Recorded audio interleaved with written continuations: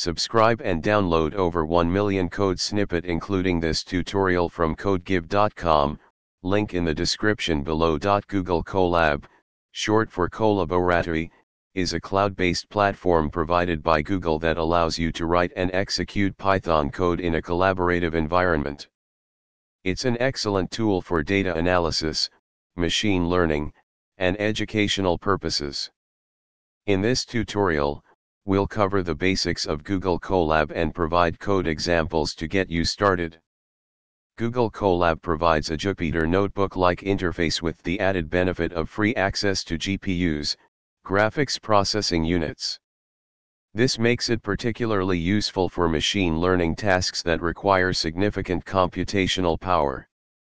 To get started, open your web browser and go to Google Colab you can sign in with your Google account. Once you're signed in, you can create a new notebook or open an existing one from Google Drive.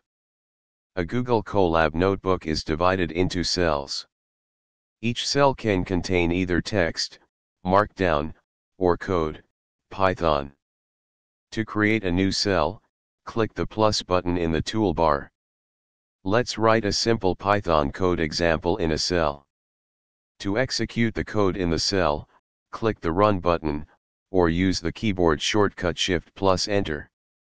Google Colab allows you to upload, download, and manipulate data easily. To upload a file, you can use the following code.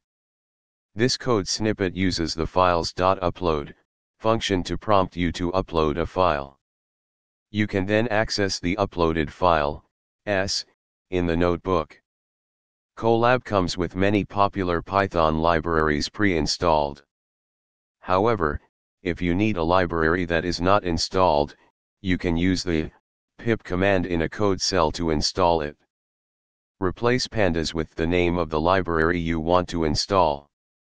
To save your work, click on File in the menu and choose Save or save a copy in Drive.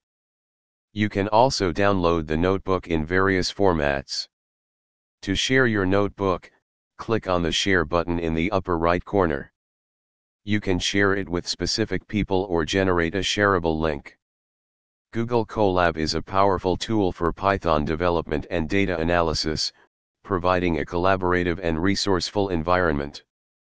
This tutorial covered the basics, but there's much more to explore, including advanced features like GPU support for machine learning tasks.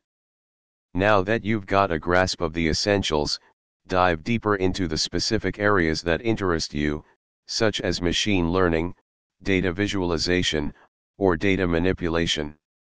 Happy coding! ChatGPT